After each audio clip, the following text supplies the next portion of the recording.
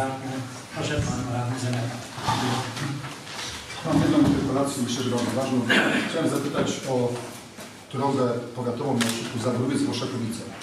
Czy ta droga jest już ukończona, czy też będą dokonywane jakieś poprawki? No bo wszyscy jeździmy po tej drodze. Stan tej drogi nie jest zadowalający to na pewno. Dziękuję.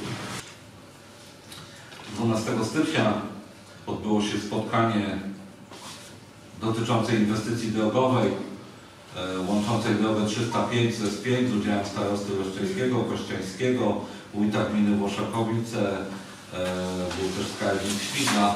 I Ja może w tym momencie też się odniosę tutaj do interpelacji pana radnego e, odnośnie drogi powiatowej Zaborowiec Włoszakowice.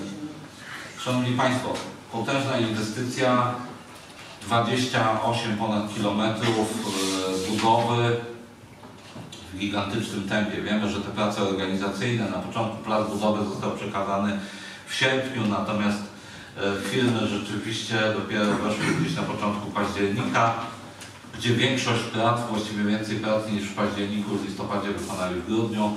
Ta droga nie jest zakończona. Okres zakończenia inwestycji jest sierpień 2018 roku. E, Natomiast tak jak od samego początku mówiliśmy, tutaj niesamowite ponaglenie czuliśmy w tym, że e, należało połowę tej inwestycji wykonać w roku 2017. W związku z tym też główny wykonawca odcinka, przynajmniej naszego firma Kola, czuła tą presję i oczywiście wszystko co możliwe.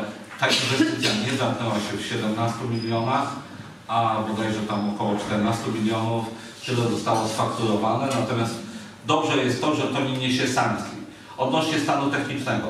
Zdajemy sobie sprawę, że yy, wymaga ta droga wielu poprawek, ale tam trwa, prace cały czas trwają. Właściwie jadąc w zeszłym tygodniu były prostowane pobocza.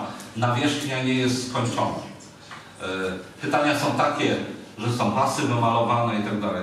Szanowni Państwo, przy inwestycji wartości 55 milionów wymalowanie pasów na odcinku 5 czy 6 kilometrów to to praktycznie żaden koszt. E, Też nie wyobrażamy sobie, żeby nam zamknęli tą e, drogę na czas budowy, czyli żeby do sierpnia ona była zamknięta, bo to jest totalny paraliż. Wiemy, jak się borykaliśmy wszyscy w tym okresie, kiedy nie była przejezdna.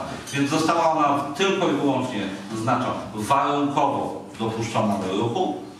E, To też dlatego jest na całej długości znak 60 km na godzinę, zakaz wyprzedzania, ponieważ jest to cały czas plac budowy. Są przerwy, są braki na tych, e, na odcinkach, ale też na pewnych odcinkach tam nie ma w ogóle warstwy ścieralnej. Przy czym tam, gdzie jest ta warstwa ścieralna, też wymaga poprawy. Wykonawca, firma Kolas oczywiście zdaje sobie z tego sprawę. Będą e, te wszystkie niedociągnięcia frezować na nowo i wylewać kolejną warstwę.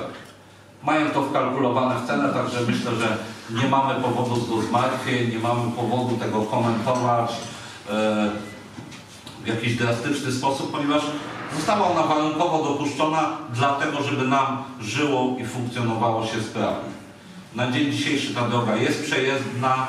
Oczywiście zdajemy sobie sprawę, że są cały czas utrudnienia, bo jadąc między Zaborówcami a Włoszakowicami, bodajże w piątek miałem cztery, w czterech miejscach koparki, także trzeba zwolnić, wyhamować to ograniczenie tylko i wyłącznie z tego wynika.